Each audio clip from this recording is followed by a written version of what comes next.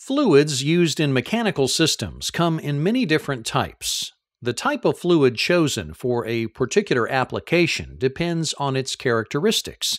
One of the most important characteristics of a fluid is its viscosity. Viscosity is defined as a fluid's resistance to flow.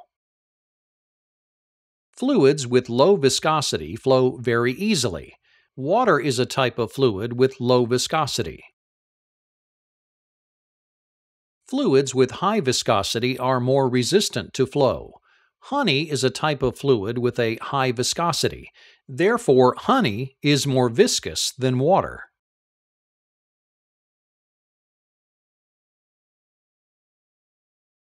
Another characteristic of fluids is the viscosity index. This rating relates the flow of a fluid with its temperature. Many fluids begin to flow more easily as temperature increases. The viscosity index is the measurement of this characteristic. A high viscosity index indicates a small oil viscosity change with temperature. A low viscosity index indicates a large oil viscosity change with temperature. Compressibility is another characteristic of fluids. It measures the change in volume of a fluid as a response to a change in pressure. Fluids, such as gases, are highly compressible. Their volumes change significantly when placed under pressure. Liquid fluids also have a compressibility factor. Water and petroleum based hydraulic fluid are almost completely incompressible. They don't compress when put under pressure. This characteristic is what allows them to be used to transmit power in fluid systems. Years ago, water was used as the first hydraulic fluid because there was no other liquid available in such large quantities at such a low cost. There are some major drawbacks to using water as a working fluid. Due to its low viscosity, it is difficult to pump. Additionally, the speed at which it flows through the system causes an effect known as wire drawing. Wire drawing occurs when the water flow erodes or scores a pathway in the metal of machinery as it goes around corners and through orifices. It also has corrosive effects on metal machinery.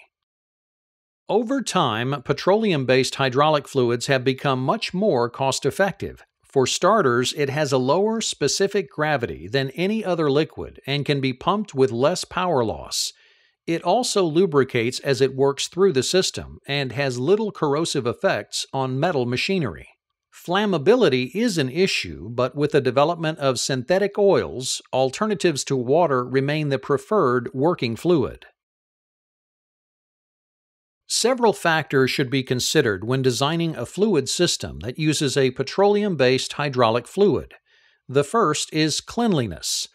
Oil never wears out, but it can become so contaminated that it is unfit for further use.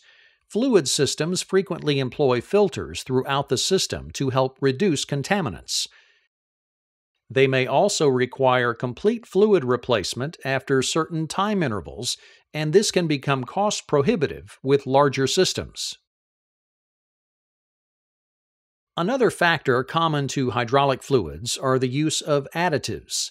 Additives can be used to reduce aeration and the production of bubbles as the fluid travels rapidly throughout the system. They can be used to administer corrosion inhibitors within the reservoir, and they can be used as a demulsifying agent, which helps the fluid resist mixing with water.